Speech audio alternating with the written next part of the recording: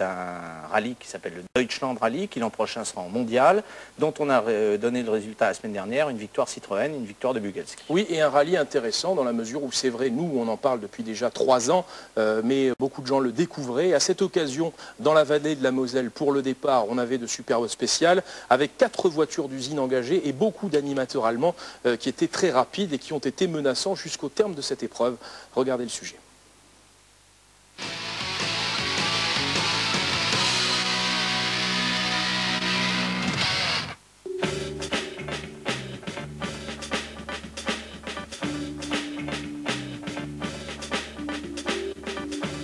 La nouveauté de la saison 2002 en championnat du monde des rallyes sera sans nul doute l'entrée de l'Allemagne au calendrier.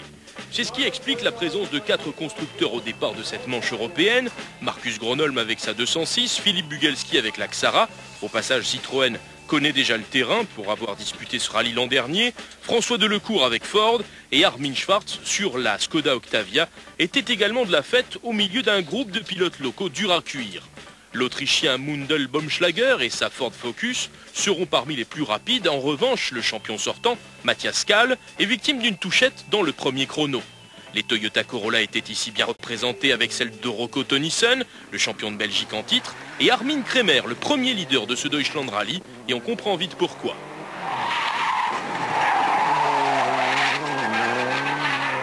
Kremer à l'attaque, Delecourt à l'arrêt. C'est le contraste de ce début de course. Le Français est victime de plusieurs crevaisons qui lui font perdre le contact avec les leaders.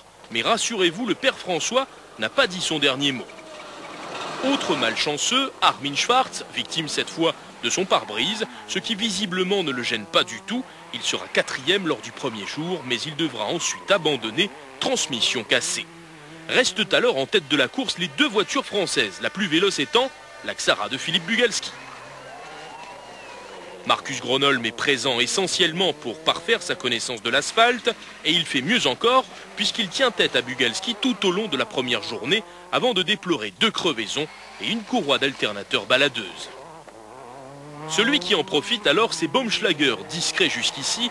L'Autrichien bénéficie des mésaventures de ses adversaires et figure à présent sur le podium provisoire. Mais il lui faut surveiller ses arrières car François Delecourt frappe fort et refait rapidement son retard. En fin de parcours, Marcus Gronholm est victime d'une sortie de route et il lui faut passer par l'assistance. Il abandonne deux minutes dans la manœuvre. Gronholm n'est maintenant plus une menace pour les leaders. Philippe Bugelski est d'ailleurs sereinement installé en tête avec plus de 4 minutes d'avance sur ses poursuivants.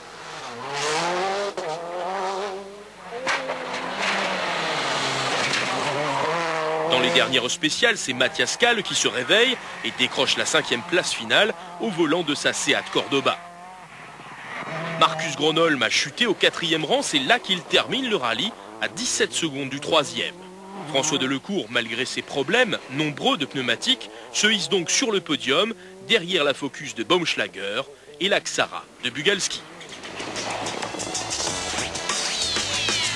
Le Français savoure une victoire sans véritable problème. On n'a pas eu trop de soucis, des, des petits soucis qui ont, qui ont fait qu'on a perdu un petit peu de temps, mais pas grand-chose. Euh, je pense que c'est surtout euh, d'adapter très bien, trouver un bon réglage avec la voiture euh, euh, sur un terrain aussi spécifique.